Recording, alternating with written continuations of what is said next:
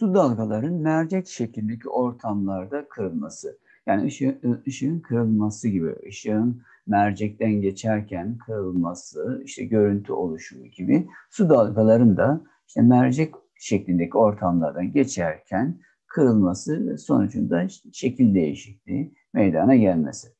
Su dalgaları mercek şeklindeki ortamlardan kırılması ışığın mercekler, merceklerdeki davranışına benzer.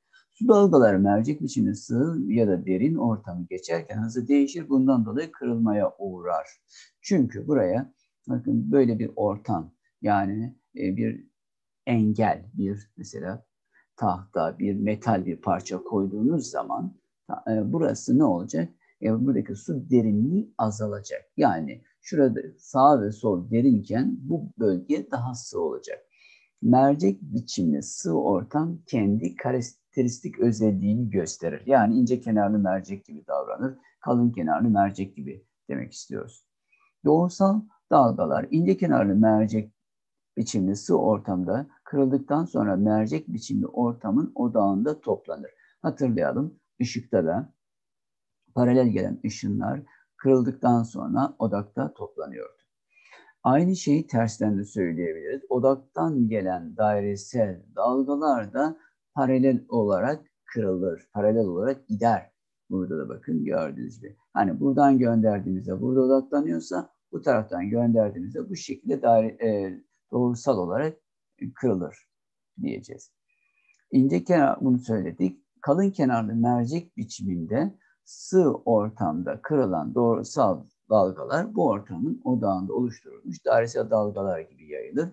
Evet bunlar da bakın kırıldıktan sonra hani ışınlar e, merceğe geldiğinde, kalın kenarlı merceğe geldiğinde kırılan ışınların uzantıları odakta toplanıyordu ya. Bunların da bakın yayılma doğrultusunun uzantıları odakta toplanır. Bundan dolayı dairesel hale dönüşürler. Mercek biçimli ortam derin ise karakter değiştirir. Aynı merceklerde ışıkta olduğu gibi. İnce kenarlı mercek biçimli derin ortam kalın kenarlı mercek gibi davranır. Kalın kenarlı mercek biçimli derin ortamda ince kenarlı mercek gibi davranır. Dediğimiz gibi o bölge sığ değil de derin olursa tamamen ince kenarlı, kalın kenarlı gibi davranır. Kalın kenarlı da ince kenarda gibi davranır diyeceğiz. Konuyla ilgili ilk sorumuz mercek şeklinde oluşturulmuş derin e, ve sığ bölgelerde oluşan 1, 2, 3 tekil düzeneklere şekilde ilgili dairesel dalgalar gönderiliyor. Buna göre hangilerinde doğrusal dalgalar elde edilebilir? Bakın bu burası normalde sığ olması gerekiyordu. Burası derin ise karakter değiştirecek. Odaktan gelenler burada doğrusal olarak kırılacaktır. Burası normal bakın kendi özelliğini gösterecek. Odaktan gelenler doğrusal olarak kırılıp yoluna devam edecekler. Burada ise sığ ve derin bu da ne yapacak? Kalın kenarlı mercek gibi davranacak. Karakter değiştirecek. Bu, buradan sonra yine bakın daha da büyüyecek. Yani şurada odaklanacak şekilde kırılmaları lazım. Burada odaklanacak şekilde kırılması lazım. Görüntü oluşumundan hatırlayın. Bu şekilde. Yani doğrusal değil, dairesel şekilde kırılacaklar. 1 ve 2 cevabımız B seçeneği olacaktır burada arkadaşlar. İkinci örneğimizde sabit derinlikli X ortamında oluşan dalga L'nin de mercek biçimli Y belgesi oluşturulmuştur. Mercek biçimli ortama şekilli gelen doğrusal dalgaların bu ortamı geçtikten sonra K noktasında odaklanıyor. Buna göre aşağıdakilerin hangisi yanlıştır? Bakın burada kalın kenarlı mercek biçiminde bir ortam var.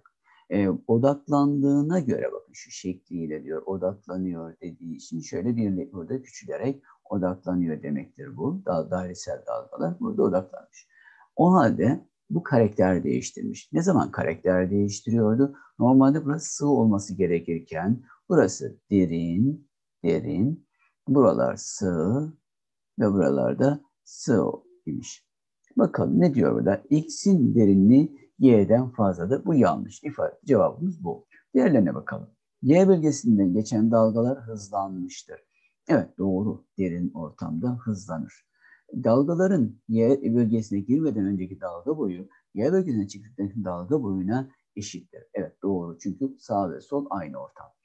K noktasında mercek biçiminde Y bölgesinin odağıdır. Evet burası odaktır. Ee, y bölgesi daha derin olsaydı bu bölgeye geçen dalgalar YK arasında odaklanırdı. Evet indisler arasındaki fark artınca ışıkta hatırlayalım kırılma miktarı artacaktı. Kırılma miktarı artınca da odak noktası küçülecekti. Şimdi derinlikler arasındaki fark arttıkça daha çok kırılacak. Demek ki odak noktası küçülecek. YK arasında bir yer olacaktı. Bu ifade de doğru. O halde cevabımız A şıkkı olacaktır arkadaşlar.